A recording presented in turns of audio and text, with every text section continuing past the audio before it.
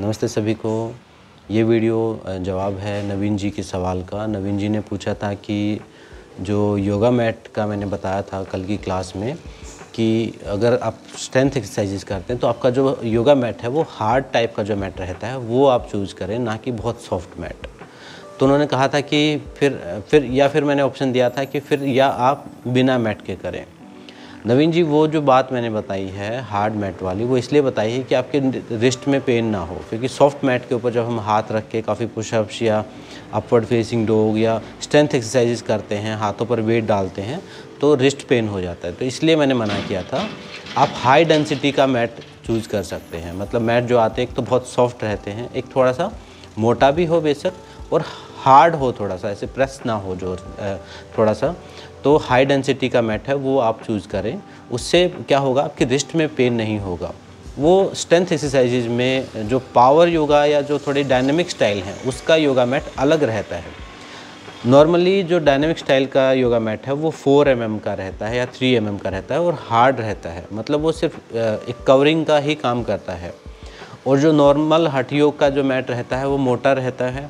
Soft रहता है ताकि आसनों को आप आराम से कंफर्टेबल हो। वहाँ कंफर्ट देखा जाता है और जो डायनेमिक योगा के लिए जो प्रैक्टिस किया जो यूज़ किया जाता है, वो हार्ड मैट रहता है ताकि उसमें जंप करना हो, थोड़ा आगे पीछे जाना हो तो वो फटे भी ना, मज़बूत भी हो और जॉइंट पेन भी ना हो।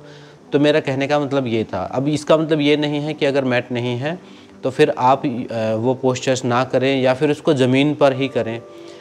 मेरा मानना ये है कि जो योग आसन हम करते हैं, प्राणायाम करते हैं मेडिटेशन करते हैं, वो सीधे ज़मीन पर बैठ के ना किए जाएँ, क्योंकि उनमें एक प्राण ऊर्जा एक्टिवेट हम करते हैं, एक प्राण ऊर्जा अपने अंदर, एक प्राण विद्युत जागृत करते हैं तो उसकी फिर ग्राउंडिंग हो जाती है।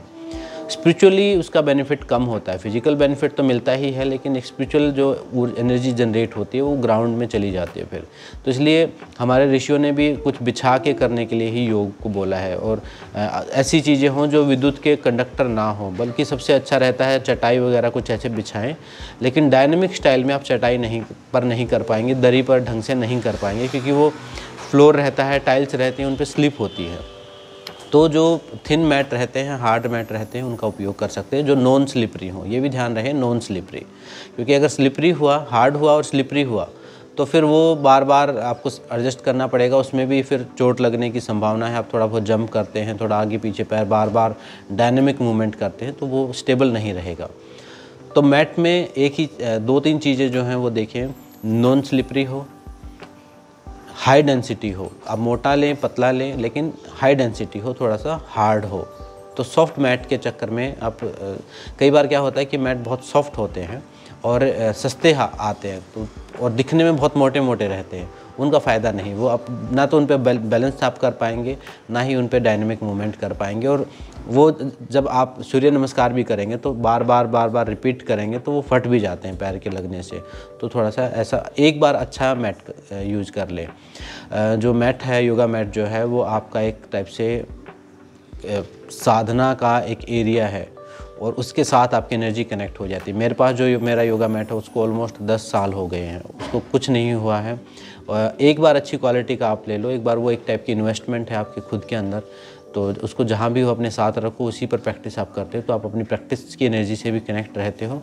और आपके सबकॉन्शियस माइंड से भी वो एसोसिएट हो जाता है तो उसके ऊपर आते ही अपने आप आपका एक्सरसाइज करने का मन करता है, आसन प्राणायाम करने का मन करता है। तो वो कारण भी है।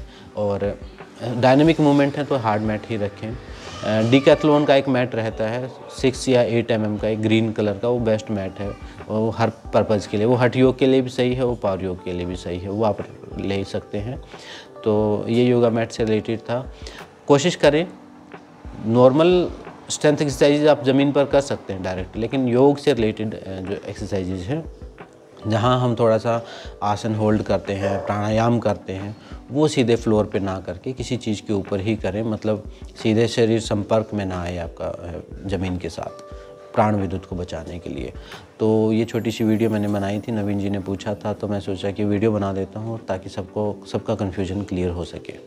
स्ट्रेंथ एक्सरसाइजेज हार्ड मैट और अगर आप सिर्फ़ सॉफ्ट एक्सरसाइज करते हैं मतलब सिर्फ़ आसन करते हैं, प्राणायाम करते हैं तो आप सॉफ्ट भी ले सकते हैं। कोई प्रॉब्लम नहीं है।